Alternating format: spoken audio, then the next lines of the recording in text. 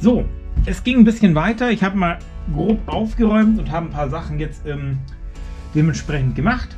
Einmal die Lenkachse, die ist jetzt wirklich fertig, die ist auch wieder eingestellt auf 0 im Endeffekt. Das heißt, die können wir hier ganz normal wieder einbauen. Kommt also hier vorne einfach wieder reingesetzt und dann passt das Ganze.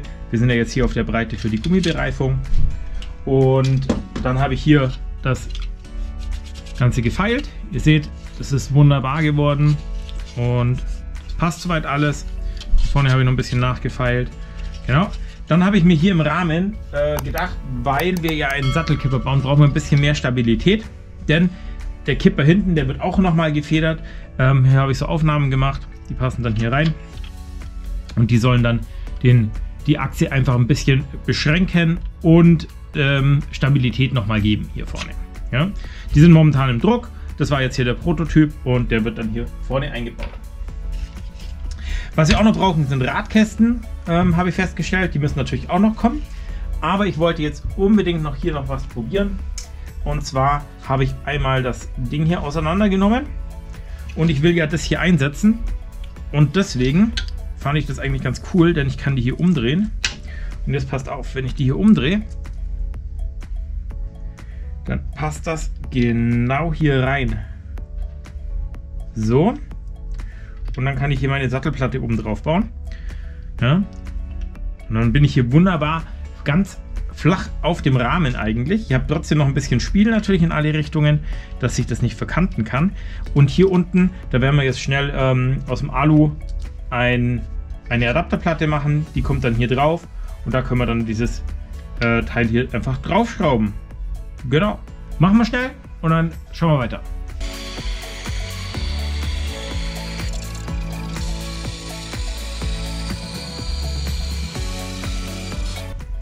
Hier haben wir das gute Stück. Einfach eine Adapterplatte. Ich hoffe, die passt jetzt hier auch gleich anstandslos rein. Ja, ein bisschen muss ich nachfeilen. Und dann werden wir das Teil hier drauf montieren. Ihr seht, ah, ja, hm, wird noch ein bisschen mehr wegfallen. Wobei das hier gut reinging. So, das wird also die Adapterplatte. Und dann kann ich das ganze Ding hier einfach draufsetzen und kann das, diese Platte hier, richtig schön ähm, von unten dementsprechend mit Muttern sichern. Da passiert gar nichts mehr, dass das Ding hier richtig fest drin sitzt. Gell? So, passe ich mal schnell an, werde die ganzen Bohrungen machen und dann schauen wir mal, ob das Ding schon reinpasst.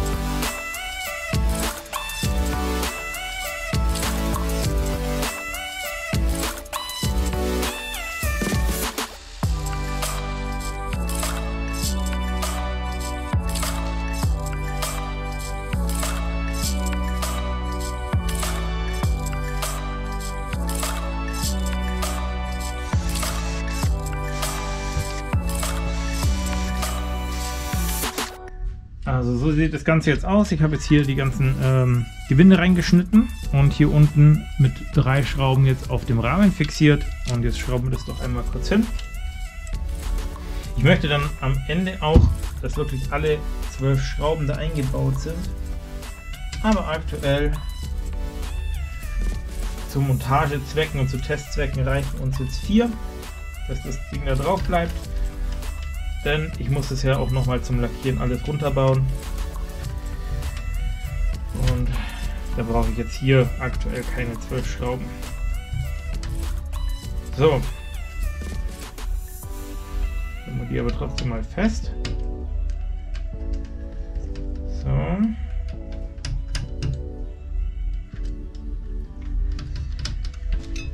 Das ganze Ding muss ja am Ende des Tages auch den Auflieger halten. Aber ich glaube, das schaut ganz gut aus. Ja, wunderbar. Also jetzt sehen wir, wir sind hier relativ flach mit dem Rahmen. Aber hier, wir können noch ein bisschen hin und her fahren. Da müssen wir gucken, dass wir mit den Reifen nachher nicht anstehen, wobei die ja hier drüben sind, also sollte das kein Problem sein. Aber es kommen noch hier die Kotflügel auf jeden Fall hin. Und ähm, ja, schaut doch schon mal ganz gut aus. Sollen wir mal kurz die Reifen montieren? Stecken wir die doch einmal kurz drauf. Wie gesagt, da kommen jetzt noch die Federn rein. Aber bloß, dass wir mal ein Gefühl dafür bekommen.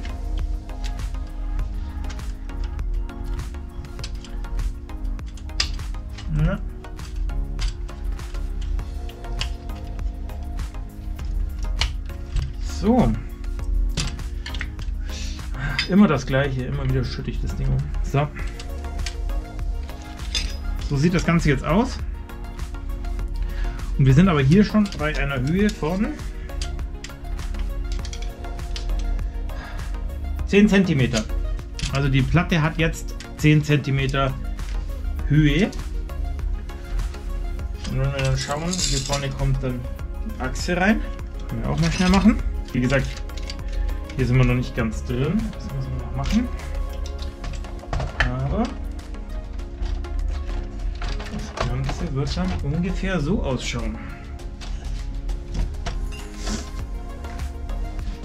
Auf jeden Fall deutlich kürzer deutlich kürzer.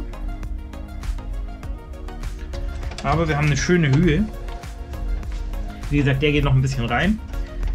Aber da kommen wir gut überall rum. Ist eben diese Baustellhöhe. Wobei wir das doch fast ein bisschen, wie gesagt, ein bisschen niedriger kommen. Und jetzt kommt dann im Endeffekt hier der Kipper hinten drauf. Ja, und wie gesagt, da müssen wir gucken mit dem Rahmen dass wir möglichst flach auf die Platte hinten auffahren. Aber das sollte alles kein Problem werden. Ja. Als nächstes werden wir uns jetzt dann der Kabine annehmen und die einmal komplett zerlegen, damit es hier mit Lampen und ähm, der Lackierung auf jeden Fall weitergehen kann.